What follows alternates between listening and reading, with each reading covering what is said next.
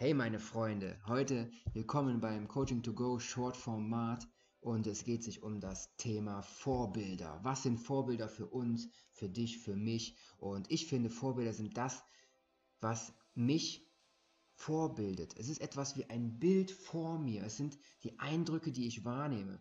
Also vorbildliche Taten, vorbildliches Handeln, vorbildliche Charaktere, vorbildliche Reaktionen auf Situationen, die ich so selber noch nie lösen konnte, aber jetzt gerade durch dieses Vorbild, durch dieses, diesen Charaktermenschen, der da steht, gelöst wurde. Ganz einfach. Und dann frage ich mich immer, wie geht das? Und das ist für mich ein Vorbild, weil ich diesem nacheifer.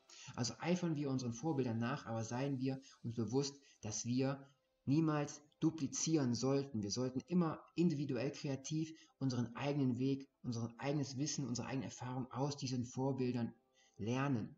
Das heißt nämlich, dieses Verhältnis zwischen Meister und Schüler.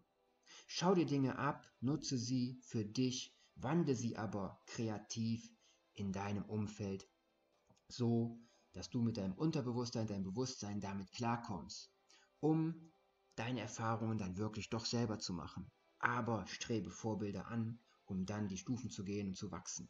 Das wäre meine Sache, die ich hier im Coaching to Go Short Version für dich rüberbringen möchte.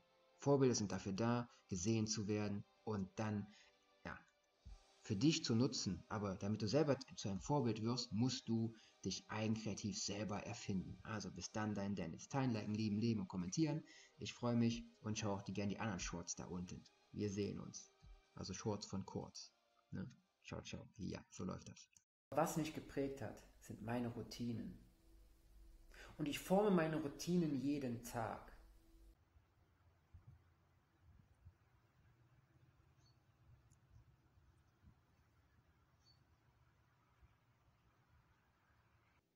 Und kommt einfach mal in Kontakt. Ja, der Persönlichkeitsstammtisch gibt es auch noch.